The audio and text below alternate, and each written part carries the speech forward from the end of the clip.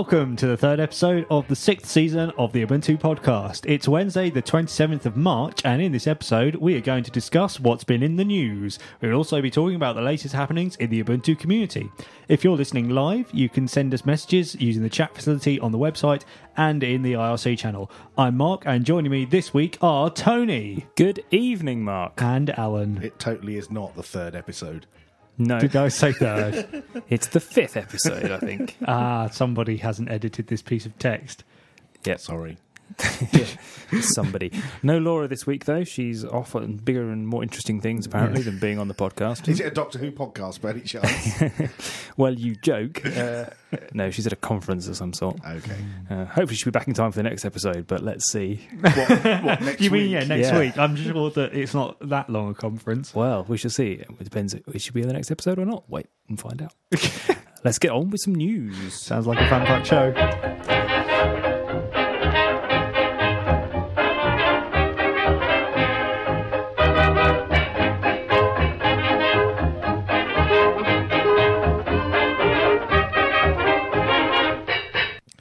First in the news, the Python trademark debacle is settled. So remind us Good. what uh, what was going on there. Oh gosh, someone had a trademark and they wanted to enforce it and use the word Python as a product name in the UK. And the Python Foundation didn't like that because they've been using Python in the open source community for a long time.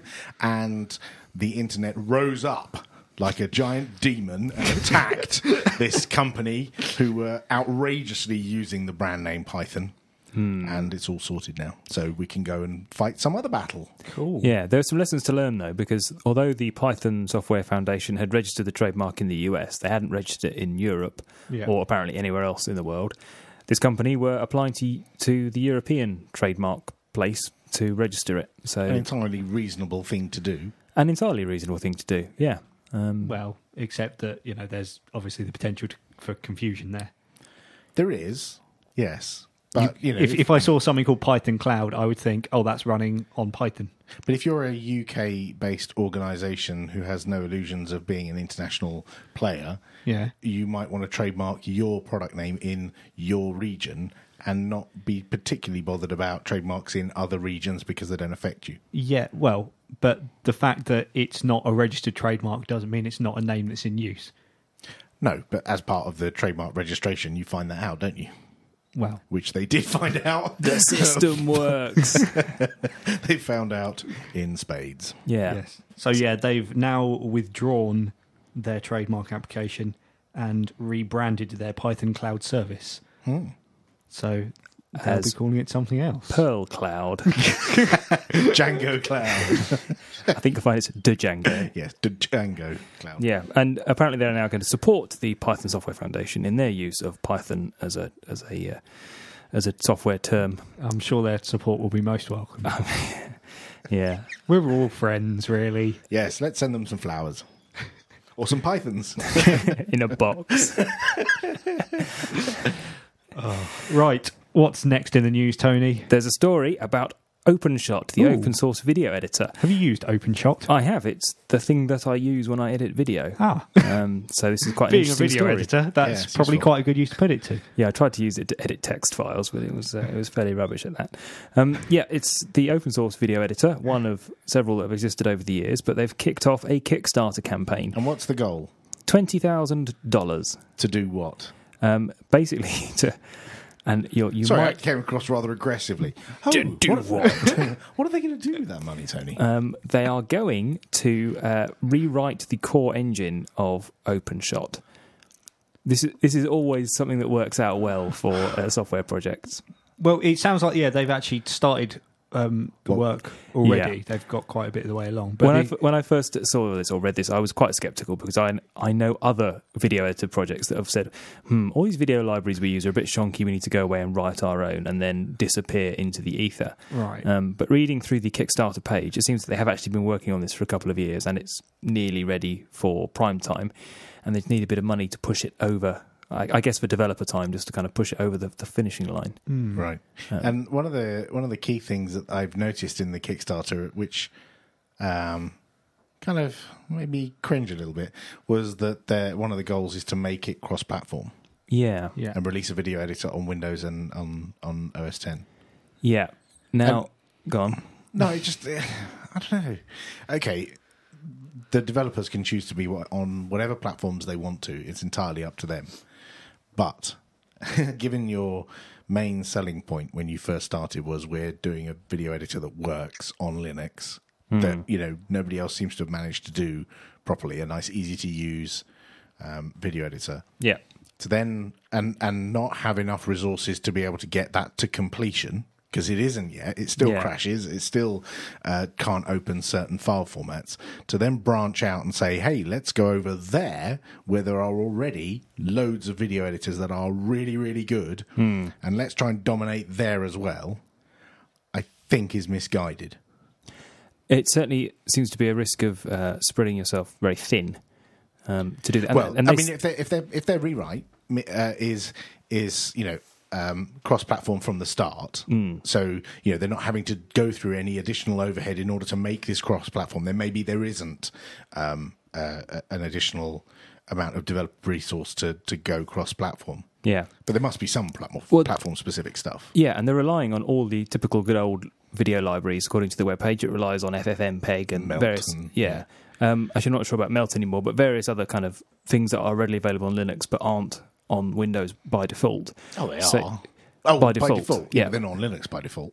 Uh, okay, but on, on, but, you know, you have to have the whole thing of packaging them and bundling them in. Right. Because people running Windows applications expect it to be one binary that you double click, it Yeah. goes through a wizard and installs it. So they have to bundle all these libraries uh, with the product normally. I think that's less of an issue actually on uh, on Windows and on the Mac. I think you're that that's less of a problem because you're not going to have the um, freedom loving bunch Right. telling you you can't ship that library, you can't ship that codec with that library, you can't mix this with that. On Windows, people go, yeah, whatever, it's a download. I'll put it on my machine. I don't really care. Um, I, I, I'm I'm more concerned about the fact that there's they're they're they're spreading out away from you know making the core thing really excellent Yeah. the the actual video editor itself really excellent and branching out onto somewhere where there are already dominant players that are pretty excellent Well, they've already reached thirteen thousand dollars of their twenty thousand thousand um, target, and I think there's about a week or so to go. So they may well reach that. they might do yeah Um, so then the question is. Of the people who are giving money, are they Linux users who want to see a decent open source video editor, or are they people who genuinely want to see this ported to Windows or macOS? Which is obviously a question we can't answer, but it's an interesting thing to think I, about. I'm just pondering how many people think in the same way. Maybe maybe I'm wrong, and maybe it's a it's um, a selfish thing to think um, that you know we should have this for Linux and not Yeah. bother trying to port to another platform. I can completely understand that perspective, but I'm just wondering how many other people have the same point of view as me and don't donate because of that. Yeah, and but also there's uh, Lightworks, isn't there, which is due to be open sourced or has been open Any sourced minute as, a- now. as an alpha. it's nearly. This is a, Yeah. should Physics put a ti- roundabout. We should have a timer on the wall that's counting down. which will which, but which will develop. Uh, sorry, which Is will, lightworksopensourceyet.com. Get on it. but that will deliver an open source video editor for Windows, Mac, and Linux. But that already existed. yes, I know, but it's being open sourced and is available Yeah. as an alpha. Right. I'm not saying to the OpenShot guys they should stop. I wish them all the luck in the world. I think they should really go ahead and, Yeah, and totally. try and do, deliver their product in the way they want to do it. But you know, we're starting to have uh, a bit of a conflict between those two things. I think. It's almost like text editors 10 years ago. Yeah. We've got so many of them. Well, beside the the cross platformness, um, I'm not really a, a video person, but Tony is. Is there are there any are there any other um, No, sort I- of features which they've they've talked about which are you know quite would be quite cool to have that OpenShot needs? Um, they have they're integrating rendering and things into it as well, so you can do sort of animated titles and and that sort of thing. So Um, is that not reliant on Blender anymore? I, I don't know. Because previously you could it was quite comprehensive. If you had Blender on your system, you could get OpenShot and specify some settings for where you wanted overlay text and how you wanted to zoom onto, onto the screen, and it would then spawn off Right. Blender to render out Ah, the series of frames to, to generate that 3D um, uh, intro. I, I don't know. cunning, the yeah. demonstration videos didn't work when I went to their website. So my my Sorry, this is the video editor's website. The, Yeah, the but- videos didn't work. I think that's probably Flash on it's Tony's. no, it's Vimeo. It never works. Ah, okay. Okay. I, I, I have very simple requirements for most video editors in that I start recording and there's loads of fluff at the front, and then there's the bit in the middle that I actually want to keep, and then there's the bit at the end where I'm moving the mouse around or talking stupidly and stopping the video camera. And all I want to do is chop the front and the end off that video. And I, I had this last week. I tried to uh, just top and tail a video, and the video editor I happened to use hung while it was rendering out, and and that is just like the absolute simplest thing that I want to do. Yep. It's it's like using the the you know the Unix head and tail commands. They are like absolute minimum requirement to like top and tail a file. Yeah. and I, I I just find it incredibly frustrating that the simple stuff doesn't work. I think it's great to have fabulous goals like the. Um, uh, NovaCut guys have got with Yes. you know distributed uh, video editing and uh, these new uh, user interfaces of ways of editing video. But if you can't get the absolute basics working, no hope. Yeah. Give OpenShot a try. Okay. Okay, Mark, what's up? Uh, Chinese R&D companies have partnered with our friends Canonical to produce an operating system for Chinese users. Oh, okay. So is this based on Ubuntu? It is. It's called Kylin, or if that's how you pronounce it. I'm not. I don't know either. I'm not big on my anglicized Chinese words. Um, but yeah, so it, it's. Um, I think it's initially basically going to be a um, a highly localized version of Ubuntu, by the sound of it. So what sort of things will be different in this from stock Ubuntu? So, for example, um, I don't know if this will be in Kylin, but I know one of the requirements that there are state mandated guidelines on computers in China.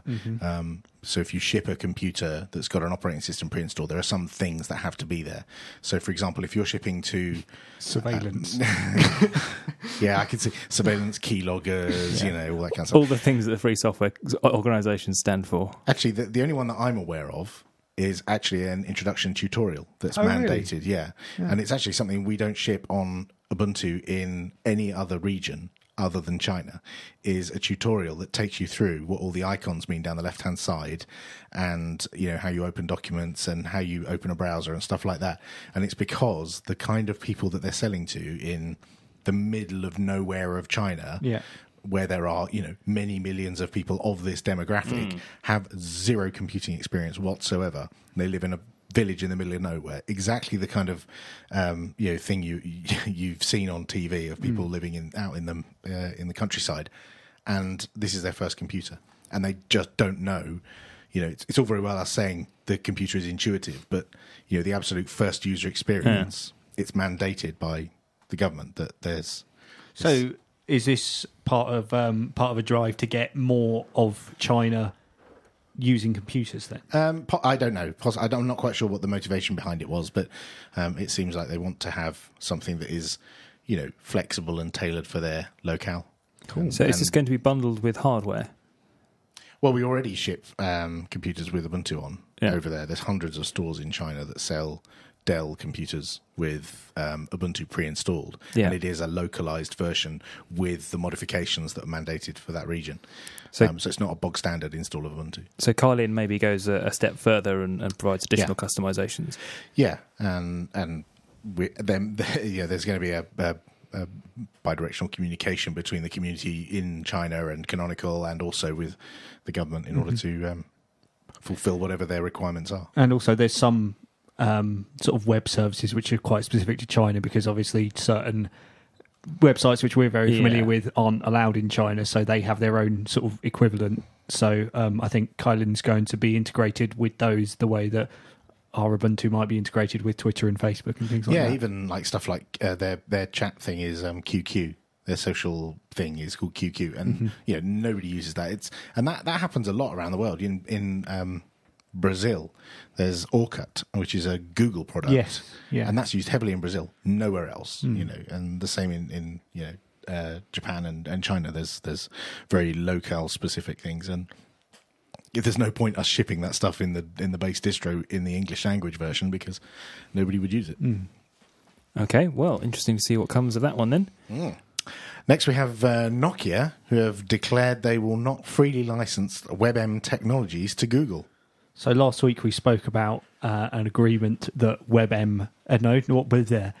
MPEG LA had had struck with Google over licensing, uh, or yeah, licensing the web the patents Oh, in yes. WebM. Yeah, this all becomes clear again now. Yeah, so MPEG LA is a consortium of companies who all have a set of patents that cover uh, video encoding and Exactly. decoding uh, type things. and so they then broker licensing agreements with people for doing things like um, H264. I think they do the DVD playback licensing as well. DVD CSS, that's a separate company, I think. Well, they did the MPEG video bit. Yes. Yes. Yeah. Um, and um, yeah, so they basically agreed with Google that Google could distribute WebM uh, even if it um, infringes in patents of MPEG-LA members. They're going to stop trying to form a pool of patents to attack them. But in swoops, Nokia. Yes, and says No. no, we're not going to do that. Uh, you apparently infringe. Well, they yeah they're they're saying that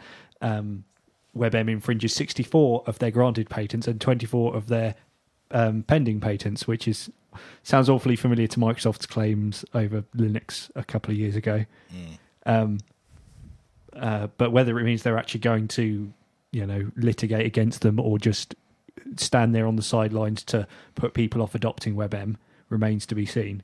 But they their argument was that it's um, a a proprietary technology which offers no advantages over exist, existing widely deployed standards, even though it's an open source. Uh, Good old only Nokia. defined, I used to really like Nokia. yeah. Before they sold out. Well, you know, before they went all rubbish. Yeah. At what point did they go rubbish? Uh, when Stephen Elop joined Right. the company, basically. Yeah. Um, it all went downhill from there. Really, they they made great phones. They had loads of um, great phones in the pipeline, Hmm. um, but they completely mismanaged them and missold them, and was a real shame. They were a bit behind the uh, curve on the smartphone market, though, weren't they? Some of them were, but but they they kind of caught up, and they had loads in development, but then they never shipped them, or they shipped them in such restricted numbers, or were in in very limited regions, like only in Finland, for example, you could buy certain phones, and you know there's a giant market over in the, the west of the planet that that would quite like to buy some of those phones. And indeed in the east of the planet. Well, yeah, as well, yeah. And now the some of that hardware uh, technology that was in, say, for example, the N9, which is absolutely beautiful phone, a gorgeous piece of equipment, and a lovely operating system, is now being seen. That hardware innovation is seen in the Lumia range, which now run Windows Phone. Yeah. In fact, I um, bumped into Andy Piper the other week who had one of those to, to play around with. Yes, Um, it was, you know, it's a all phone. Yeah, It's a phone. Right. The the tily thing looked quite interesting on a little screen, but then it, other than that, it's uh, yeah, yeah. not terribly exciting. Such a shame. Yeah. Mm, fair enough. And Forbes have been in the news as well. They've been writing lists and They taking them names. twice. Yeah, yeah. Uh, and they've named Mark Shuttleworth as one of the most disruptive people in Dot, dot, bu- dot. So it says here in business in 2013, specifically in the area of computing. Um, disruptive in a good way, I assume. Yeah, I would imagine so. But well, in either way, really. He doesn't just run into the room at parties and go, Did- I- I throw think- the crisps on the floor. I don't. I don't think disruption necessarily implies good, but it, it implies change. Well, people, yeah, Which people talk is- about disruptive technologies in, in Yeah. a, as a generally positive thing, unless you're part of the old guard, I guess. I kind of feel bad that I don't actually recognise a single other person on the list um, in, Are they in all business. technology people? No, no, they're they're from every like healthcare, media, retail, social Oh, media. okay. There's there's there's lots of um, areas, and you know you can obviously click through to each one of them and find, Find out who they are. who they are, and you know there's, there. there's a guy founder of University Now who's from San Francisco, and um, what that is. well, I yeah, probably exactly. should know that what that is. That sounds like something which I would know. I and some guy who works for uh, fa- who's the founder of Aereo, A E R E O, in New York. Never Lovely chocolate him. bars they make. Uh, he looks like a nice chap, but no idea who he is. Um, so clearly, I'm at the wrong end of the scale here, not knowing who a single one of these. And uh, of the twelve um, classes, there's one, two, three, four, twelve classes, but in total, some of them have got multiple people in. So um, So do 16, think 16 people in total. do you think that most people will uh, be seeing Mark Shuttleworth on that list and having exactly the same reaction to him that you had Exactly. to? Uh, Yeah, Yeah. exactly. Well, these lists are always very important. Uh, there's two women on the list out of uh, 16 total. oh well, that's uh, good. We're not, we're not in any position to talk about being representative this evening, unfortunately, on this show. No. But yes, interesting lists, always good fun. Yes. Right, let's get on with the next bit. The Ubuntu podcast needs you. Yes, you. If you hear something that enthralls, exasperates, or elevates you, tweet at UUPC or email podcast at ubuntu-uk.org. You can also talk to us on the telephone, Skype, Facebook, and Google+. Find links to all these places on our website, podcast.ubuntu-uk.org. Please do get in touch. I mean it. Just one message, just to know there's someone out there who cares.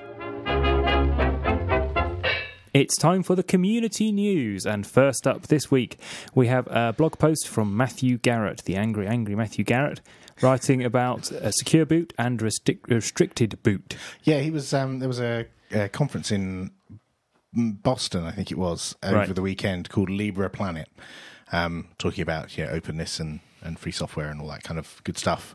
And uh, Matthew gave a talk um, about secure boot and restricted boot, and um, it was it was very interesting, and he explained it in a very simple, easy to understand way in typical Matthew style. Um, and then had a little Q and A afterwards with uh, some heated discussion with members of the audience, um, and uh, and it was videoed, and uh, we put the, got the video on on link from his blog, uh, and it's really worth a watch. If you if all this secure boot, restricted boot stuff sounds a little bit cloudy in your head, then I would watch that video because it's worth watching, and it's he makes it very very clear. Yeah. Even the blog post is pretty clear as well. Yeah. So if you can't watch the video for some reason, read the words. There was also an IRC meeting.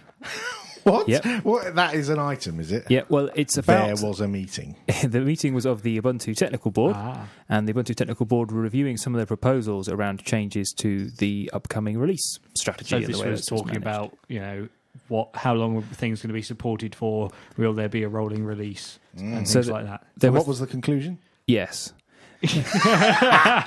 The conclusion is there was a meeting. yeah, We've there, got that right. There were three things on the agenda. There were three members out of seven on the technical board in attendance, Right. which is not great, I guess. Hmm. It's quite a small number of people to make some potentially large decisions about the way the Ubuntu release strategy works. Yeah. Well, the good news is that all this stuff has been debated uh, ad infinitum for the last preceding month and Yes. Discussed in public open forums like mailing lists. Uh, so I think all the people, if they were going to object, would have done so by now. Yeah, there were other people in the meeting who were voicing opinions, but obviously only the technical board members actually have a vote Yes. because they are voted on. Um, so they were looking at reducing the length of support for regular uh, L- non-LTS releases. So that's the things that come out every six months at the moment. Yep. Reducing that down from 18 months support to nine months support. So that means that you'd have three months after the next release to upgrade to that. Yeah. Yeah, which would be big problems for me Why? because I never get around to upgrading in time. So Don't why then. don't you run LTS? Yeah. Don't Well, then. Yeah, I do effectively run LTS. um, so Supported by you for the long term. yeah, I roll my own patches. Um, yeah, so uh, LTS releases would stay um, five years support, but it's the idea. This is to reduce the burden on the Ubuntu community and infrastructure and people of packaging all these security updates and things Mm. for releases that mm, you know hopefully a few people use and help encourage people to move off and move on and move up. So that's going to change from uh, 1304, so from this next release. Yeah. Just next month. Yeah. and also they were- decided that um, as a sort of you know a solution to the rolling release idea that um, something should be implemented so that you can be you you can basically say always keep me on the development release Right. and that means that um, so you'll be running say at the moment you'd be running raring and then when raring is released you automatically roll over to whatever the next uh, release is called Yeah, so there, there'll be like monthly cuts, like 1305, 1306, 1307, that kind of thing. No, I think No, I it's, think it's it's just s- like you've got on your laptop at the moment. You can upgrade whenever, and you'll so get you, the latest. You're constantly getting you constantly packages. get it, and but then when the release happens, you don't then have to say don't leave me on raring upgrade Right, me. It me just going. says it just says, oh, you want to always have the latest thing, so, So, keep like you on the being on release. Debian testing. Yes, or- yes, yes. Yeah, so exactly. you're constantly getting the next stuff up. You don't have to mm. do anything, which I think is a really good idea. Yeah. And it's just a case of a few symlinks effectively yeah, and managing those whenever there's a new release. Yeah. You, Well, tell, you could tell Colin Watson that his job is just a bunch of symlinks. No, not his, not his whole job, but it is that bit of it. that bit of it is, is a relatively simple thing to implement. Off you go then. yeah, you tell him that. Oh dear, that's not what I meant. Um, they briefly also discussed some changes to the update tool to allow users to upgrade by more than a single release at a time.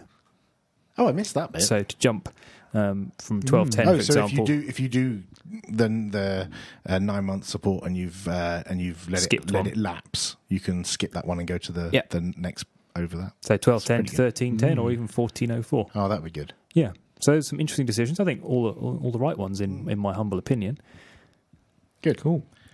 Um, and a bug in Fedora's bug tracker meant that Fedora bugs couldn't be tracked. Someone should find a bug about that. Oh, Hey. so this was because the the code name for Fedora 18 is Schrodinger's cat Yes, which has an umlaut over the O. and an apostrophe after the R. Ah, yeah, both of them together are um, are a pain. it's a good job they didn't name it Schrodinger's drop tables. So I I I, uh, I saw people um, mention this on Google Plus and various places, and be quite confident that oh, this wouldn't this wouldn't affect us. Uh, Yeah. in in in uh, Ubuntu land, and I thought, well, that's quite bold. I, I'm not sure I would did make you that did you file a bug No, with the I- title Schrodinger's cat? No, I went bet one better than that. I created a project called uh, Schrodinger's um, Siamese. Uh, Ah, and I uh, did see that mentioned. Right. Yeah, so I created a project called Schrodinger's Siamese, and that was okay. Um, And uh, then I started creating, you know, more elements within Launchpad to, to build up an entire project to find out at what point it would break. um, I was using the staging instance of Launchpad, not Right. the live, just in case I broke it. And I did find at least one. Uh, I stopped when I found one, just to prove my point that ours isn't. You know, we could be bitten by this if Mark decided Yeah. that the S release in six months is going to be Schrodinger's Siamese, which I think it should be. There's a there's a town in uh, in the Netherlands, I believe, where uh, which is really good to use in test data for addresses because its name begins with an apostrophe. Excellent. Oh, that's excellent. I think there's a bug in Launchpad that stops any of my bugs getting resolved. I think I found that. No, that's just you. Okay. And we've got a few events. Yeah, Yes. the first one being Digital Freedom, uh, sorry, being the Culture Freedom Day, the second Culture Freedom Day, supported by the Digital Freedom Foundation. It's going to be on the 18th of May, and it's a day for celebrating free culture. You can register for more information and potentially even get a support pack at culturefreedomday.org. That's interesting because there's Software Freedom Day in September, Hmm. and today, I think, is Document Freedom Day, isn't it? Uh, yes, I think I saw something about that. Yes. Simon Phipps put something on Google I, Plus. I saw it on Google Plus about three o'clock this afternoon, and I pointed out that the, the website says that they are uh, advocacy and raising awareness of uh, Document Freedom Day, and I said they'd done a pretty bad job if I didn't find out until three o'clock in the afternoon on Maybe the it was in America. yeah, maybe. you did find out, that's the point. Uh, the Institute of Engineering Technology are running a Raspberry Pi GPIO workshop at Solent University in Southampton on the 12th of April, and it's free. This is learning how to use all of the input output pins on your Raspberry Pi. Oh, awesome! Yeah. Oh, that's good. Better than just booting up Debian and You running with- XBMC on your telly. Exactly, yeah, yes. And turning it off again. And finally, Ohio Linux Fest is looking for talks for their 2013 event, which will be held in September 13th to the 15th in Columbus, Ohio. They're looking for a variety of talks at all levels, from beginners through intermediate and advanced. Any topic relating to free and open source software to open hardware is fair game for a talk. Just go to ohiolinux.org slash CFP and fill out the submission form. Cool.